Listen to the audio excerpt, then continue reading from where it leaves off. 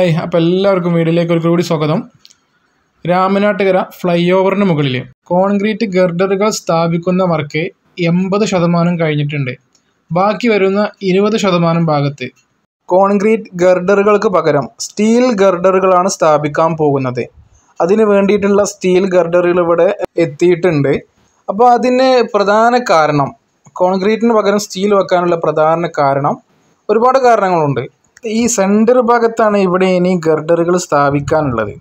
അപ്പോൾ ഇവിടെ കോൺക്രീറ്റ് ഗർഡറുകൾ സ്ഥാപിക്കുന്നതിനേക്കാൾ വളരെ പെട്ടെന്ന് തന്നെ സ്റ്റീൽ ഗർഡറുകൾ ട്രാഫിക് ബ്ലോക്ക് ഇല്ലാതെ പെട്ടെന്ന് സ്ഥാപിക്കാൻ കഴിയുന്നുള്ളതാണ്. ഈ ജംഗ്ഷനിലുള്ള നാല് പിയറുകളുടെ മുകളിലാണ് സ്റ്റീൽ ഗർഡർ സ്ഥാപിക്കാൻ തീരുമാനിച്ചിട്ടുള്ളത്. എല്ലാ ഗർഡറുകളും ഇവിടെ എത്തിയിട്ടുണ്ട്. അപ്പോൾ ഇനി ബെയറിങ്ങുകൾ കൂടി ഇവിടെ എത്തിയാൽ ഉടനെ തന്നെ ഇതിന്റെ ലോഞ്ചിങ്ങും ഉണ്ടാവുമെന്നാണ് ഇവിടുന്ന് അറിയാൻ കഴിഞ്ഞത്.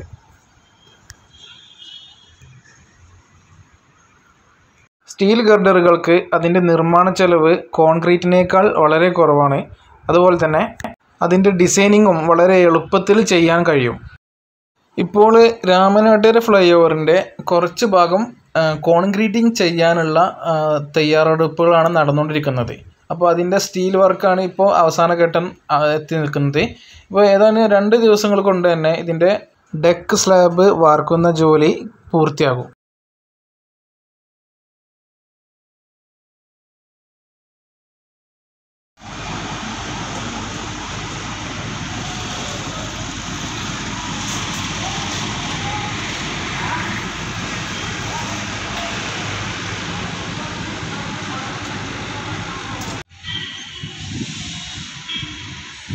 അപ്പോൾ ഇവരിവിടെ ഉപയോഗിക്കുന്നത് ഇംഗ്ലീഷ് അക്ഷരമാലയിലെ ഐ എന്ന അക്ഷരത്തിന്റെ ഷേപ്പിലുള്ള ഗർഡറുകളാണ്. ഇതിന്റെ ഹൊറിജോണ്ടൽ ആയിട്ടുള്ള ഭാഗത്തെ ഫ്ലെയിഞ്ച് എന്നും വെർട്ടിക്കൽ ആയിട്ടുള്ള ഭാഗത്തെ വെബ് എന്നാണ് വിളിക്കുന്നത്. മുകളിലത്തെ ഫ്ലെയിഞ്ചിനേക്കാൾ താഴത്തെ ഫ്ലെയിഞ്ചിന് അല്പം വീതി കുറവായിരിക്കും.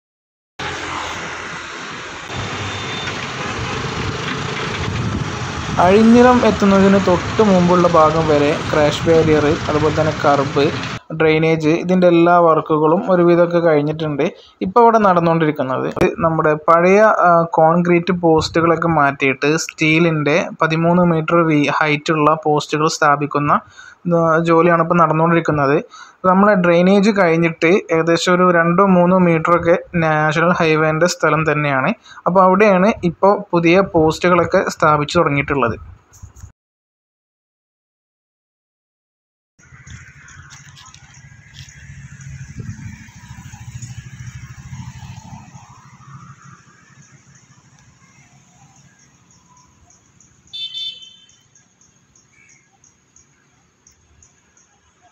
മാമ്പുഴ പാലത്തിനടുത്തുള്ള ഒരു ചതുപ്പ് പ്രദേശം.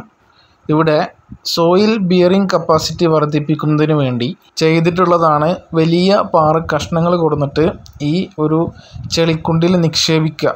ഈ ഒരു സമയത്തും ഇത്രയും വെള്ളം കെട്ടി നിൽക്കുന്ന ഒരു വയൽ പ്രദേശം എന്നൊക്കെ പറഞ്ഞാൽ വളരെ അപൂർവമാണ്. സോയിൽ ബിയറിംഗ് കപ്പാസിറ്റി വർദ്ധിപ്പിക്കുന്നതിന് പല വഴികളുണ്ട്. കെമിക്കൽ ട്രീറ്റ്മെന്റ് വരെ ഇതിനു വേണ്ടി ചെയ്യുന്നത് അപ്പം ഇതിന് നമ്മൾ കണ്ടു നമ്മൾ കണ്ണൂരിലൊക്കെ ഈ ചതുപ്പ് പ്രദേശങ്ങളിൽ ബിയറിംഗ് കപ്പാസിറ്റി വർദ്ധിപ്പിക്കാൻ പല മെത്തേഡുകൾ യൂസ് ചെയ്യുന്നുണ്ട്. അപ്പോൾ ഇവിടെ ഏറ്റവും ചിലവ് കുറഞ്ഞതും എല്ലാവർക്കും പരിചയമുള്ള ഒരു രീതിയാണ് ഉപയോഗിച്ചിട്ടുള്ളത്.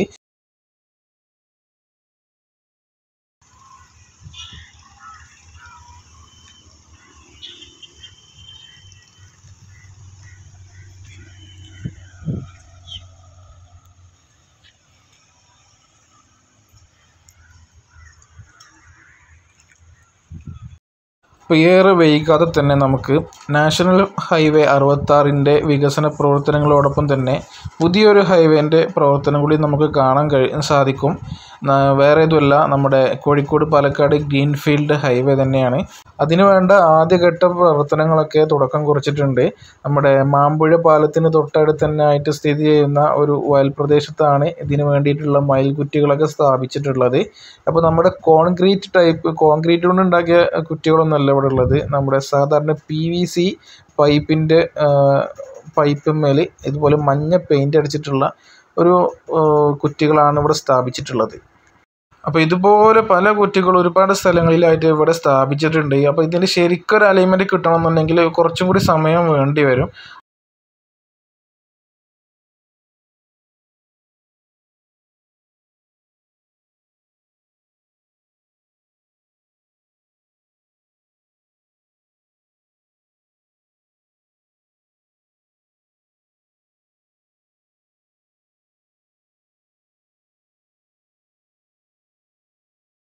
പന്തീരങ്കാവ് റോഡ് സൈഡിൽ ഉണ്ടായിരുന്ന വലിയൊരു പാറ പേരോടെ പൊട്ടിച്ചു മാറ്റുന്ന പ്രവൃത്തികൾ അന്തിമഘട്ടത്തിൽ എത്തി നിൽക്കുകയാണ് ഈ ഒരു പാറ നേരത്തെ തന്നെ ഒരു ഡയമണ്ട് വയർസോ മെഷീൻ ഉപയോഗിച്ചിട്ട് കട്ട് ചെയ്ത് അടർത്തി മാറ്റിയതാണ്.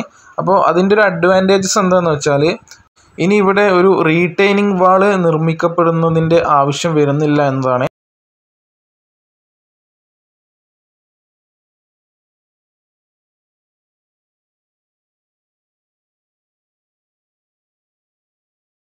ഞാൻ ഇപ്പോൾ ഉള്ളത് നമ്മുടെ അഴിഞ്ഞിലം കഴിഞ്ഞാൽ അടുത്ത സ്ഥലമായിട്ടുള്ള അറപ്പുഴ പാലത്തിനടുത്താണ്. പുതിയ പാതിൽ കൂടിയാണ് ഇപ്പോൾ വാഹനങ്ങളൊക്കെ ഡൈവേർട്ട് ചെയ്ത് വിടുന്നത്. അപ്പോൾ അപ്- അറപ്പുഴ പാലത്തിന്റെ അപ്രോച്ച് റോഡിന്റെ നിർമ്മാണം പാതി വഴിയിൽ നിർത്തി വെച്ചിരിക്കുകയാണ്. അപ്പോൾ അതിന്റെ ഓപ്പോസിറ്റ് ഭാഗത്തുള്ള സ്ഥലങ്ങളിലാണ് ഇപ്പോൾ നല്ല രീതിയിൽ വർക്കുകൾ നടന്നുകൊണ്ടിരിക്കുന്നത്. ഇവിടെ കോൺക്രീറ്റ് ബ്ലോക്കുകൾ കൊണ്ടുള്ള ഒരു ആണ് വരാൻ പോകുന്നത്. അതുകൊണ്ട് തന്നെ അതിന് വേണ്ടിയിട്ടുള്ള ഫൗണ്ടേഷൻ കോൺക്രീറ്റിംഗ് ആണ് ഇപ്പോൾ ഇവിടെ ചെയ്തുകൊണ്ടിരിക്കുന്നത്.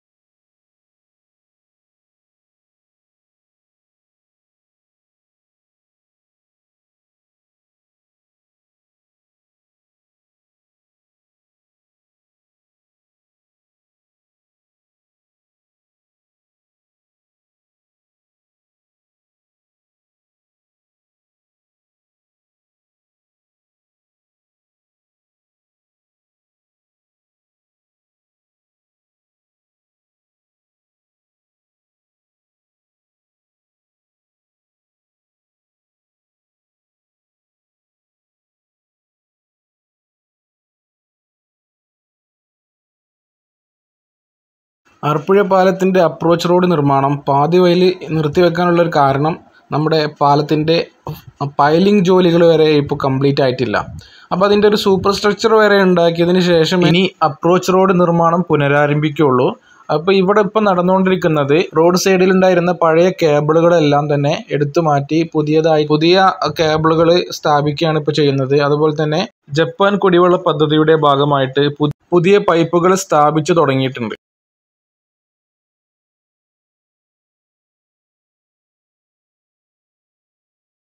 പൈലിംഗ് ജോലികൾ പോലും പൂർത്തീകരിക്കാൻ കഴിയാതെ നമ്മുടെ അറപ്പുഴ പാലം.